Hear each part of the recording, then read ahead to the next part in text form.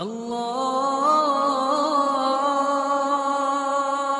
أكبر الله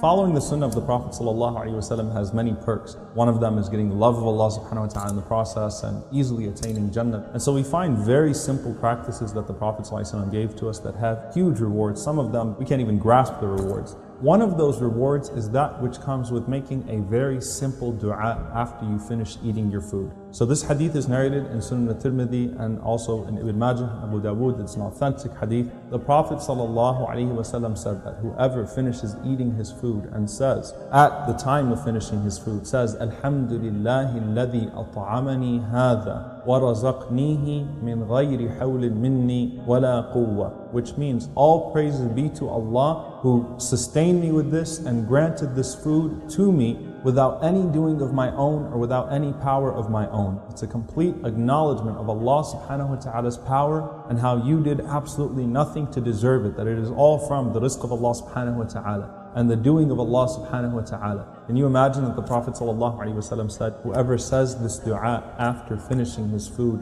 غُفِرَ لَهُ مَا تَقَدَّمَ مِنْ ذَنْبِهِ Allah will forgive him for all of his previous sins. Just because you ate and you acknowledged as you finished your food that it was not you that provided that for yourself, rather it was Allah subhanahu wa ta'ala. Subhanallah, all you have to do is be grateful as you eat and thank Allah subhanahu wa ta'ala. That brings about more rizq in your life, more sustenance in your life, and it brings barakah in your life and blessings in your life and at the same time, it blesses your hereafter as well, because the entire purpose of our existence is to worship Allah subhanahu wa ta'ala and to acknowledge His perfection and acknowledge our own shortcomings and imperfections and try to strive for perfection in order to please Allah subhanahu wa ta'ala. We ask Allah subhanahu wa ta'ala to forgive us for all of our sins, the hidden ones and the public ones, the large ones and the small ones. We ask Allah subhanahu wa ta'ala to grant us His mercy and we ask Allah subhanahu wa ta'ala to grant us Jannat al-Firdaus and the companionship of the Prophet his family, his companions and those that follow. Allahumma